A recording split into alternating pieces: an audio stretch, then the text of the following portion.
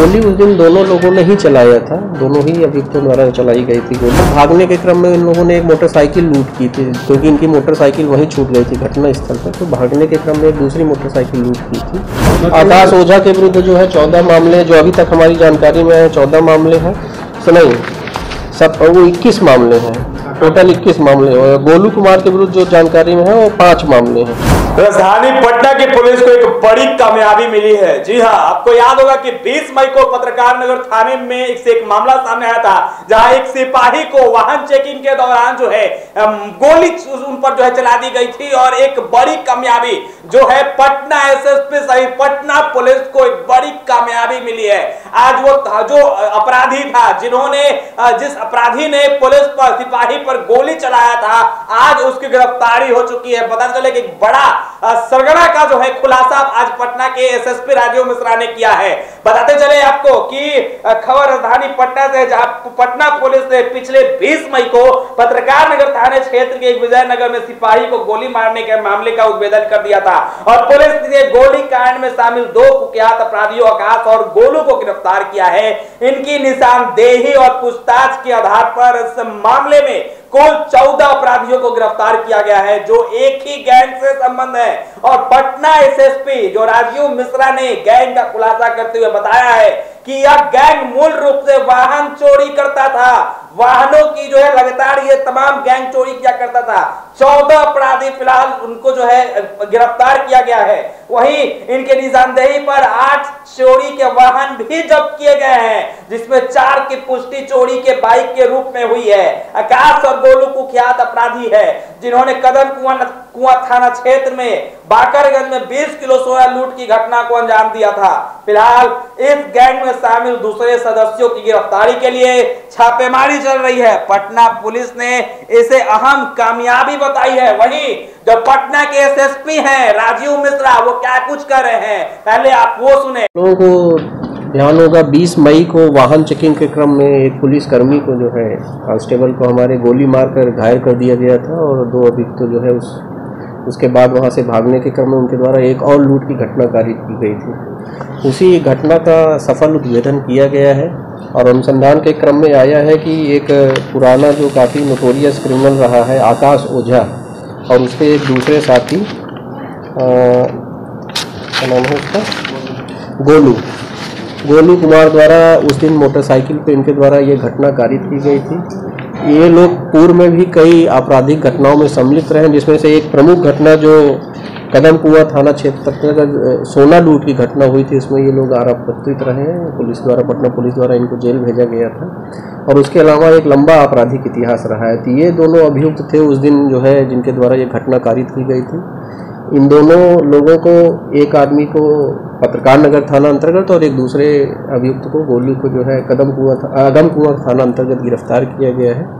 और उसके बाद इन लोगों की निशानदेही के क्रम में ये जानकारी आई कि इन लोगों द्वारा एक पेशेवर तरीके से एक अंतर जनपदीय वाहन लूट और चोरी का गिरोह संचालित किया जाता था और बाकायदा डिमांड लेकर वाहनों की चोरी की जाती थी, किस रंग का वाहन चोरी किया जाना है, किस मॉडल का वाहन चोरी किया जाना है, और इसमें छपरा, वैशाली और दूसरे जिलों के भी अपराधियों से इन लोगों के संपर्क की बात सामने आई है।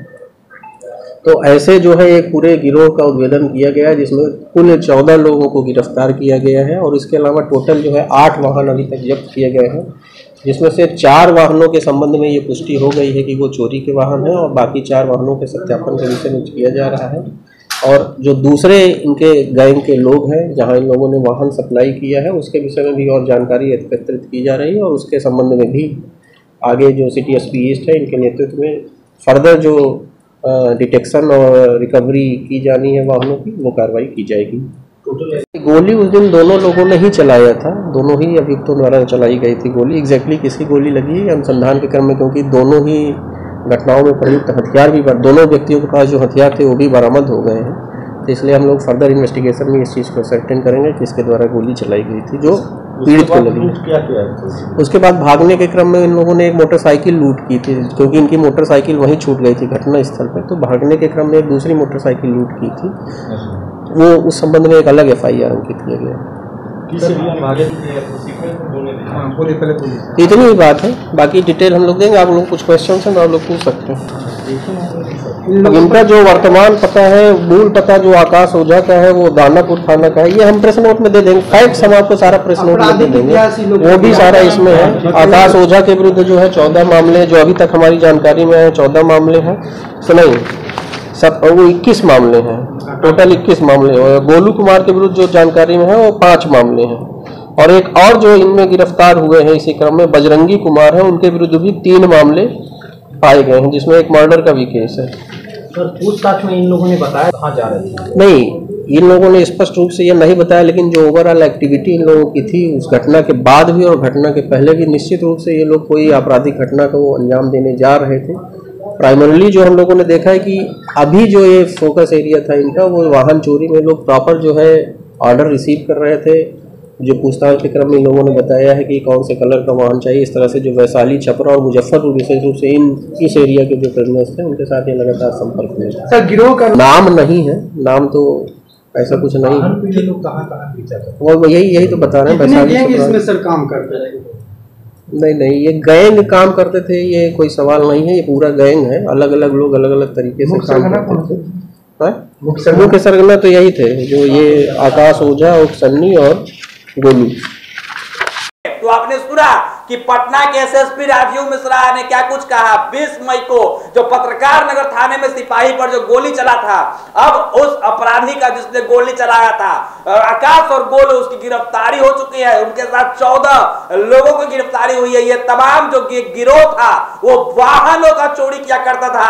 राजधानी पटना के अलग अलग जगहों पे जो है, जो बाइक लगी हुई थी जहाँ चोरी होता था, यही तमाम गैंग जो है चोरी करते थे। कहीं ना कहीं पटना पुलिस को एक बड़ी कामयाबी मिली है। बहरहाल, वीडियो में इतना ही। वीडियो हमारे फेसबुक पेज पर देख रहे थे। पेज को लाइक फॉलो कर ले। वीडियो यूट्यूब पर देख रहे थे। चैनल को जाकर ज़रूर सब्सक्राइब करें। अंत तक बने रहने के लिए आपका बहुत बहुत शुक्रिया।